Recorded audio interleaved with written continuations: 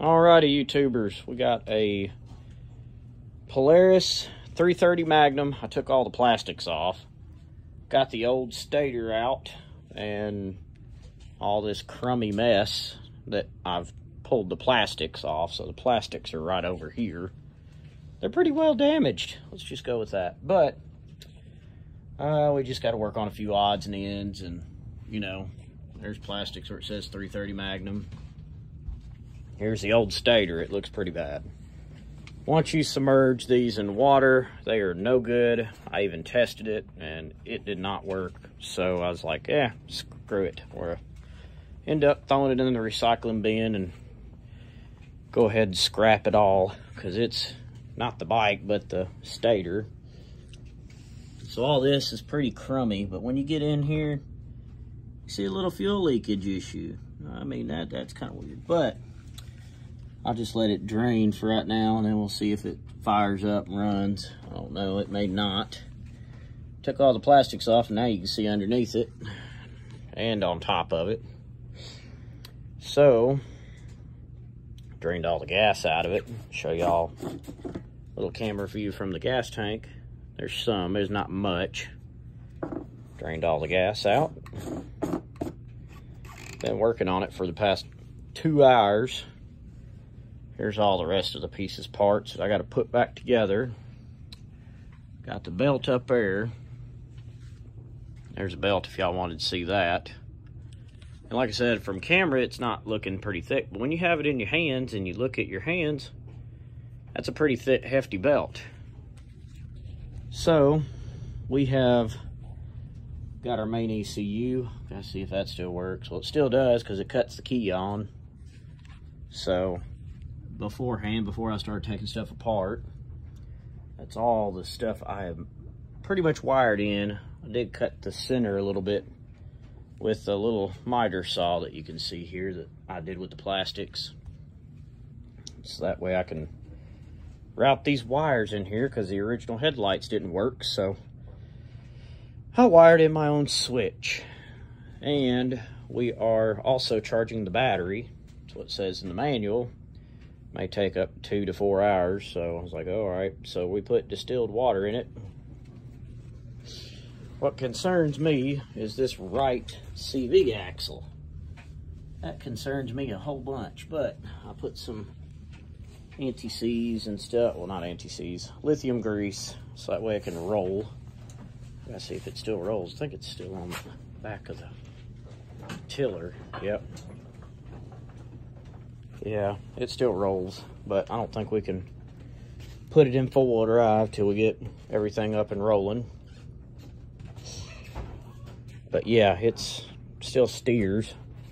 The handlebars don't wiggle from side to side like it used to. And like I showed from the last video, we put a new spring. We got a side cover after we get the all these hardware and lovelinesses of getting all this stuff put back together and we'll make a video here soon me putting all this back together. Stay tuned. Gotta give me a break I'm trying to get the wife to get started and rolling in with her paychecks so we can get that hopefully we'll get this bike rolling. Definitely running rolling functioning being able to do stuff on it that my little pickup truck or her jeep can't get through so we're going to make it a tight running, field running, and hopefully get everything in order so we can get this up and rolling. Because right now it's just sitting. Like I said, I bought a battery for it. Got all the parts actually right in here to finish up the battery, which is this little plastic baggie. When you buy your EverStart, a buddy of mine would say never start, but it's not a bad battery. That's for your Polaris bike from Walmart, 14LA2. And it measures out from 5.25 to 3.5 for width, it's 525 and length, well that's length. And that's width, 3.5 inch, and then 6.56 inch. I don't know why they go by metric, but I guess they do for other people overseas. And uh, right now, we should have us a battery in there. We should be able to get this bike up and rolling as soon as we get parts rolling in.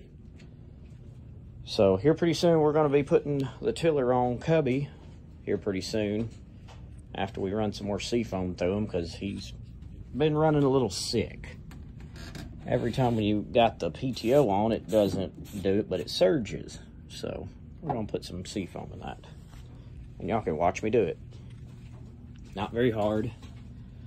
Let me make sure that's an open bottle. Hmm. Another wife bought some new ones. That's a new one. Yeah, that's a new one. This one's an open one. Give me a minute doing this off camera. Okay, this stuff is awesome. I literally only poured just a touch. I might pour the whole thing because that's my last last other can. All right, people. This is Cubby. I've been trying to get keep this machine alive. And that's the EverStart battery. Never start, as my buddy would say. Charging it. Currently, it's not charged. And this is a can of seafoam. This stuff saves your machines. I've had no issues out of seafoam whatsoever. So that's seafoam, where you can read cleans injectors, cleans carb jets, stabilize fuels, control moisture in fuels, quiet noisy lifters, clean deposits, add lup lubricancy to fuel, lube upper cylinders, de-ice, and anti-gel, which this stuff really works. Oh, I forgot the trash can's over here. But yeah, this stuff really works. So after you get done using it, you just toss it in the can. So hopefully y'all have a good day.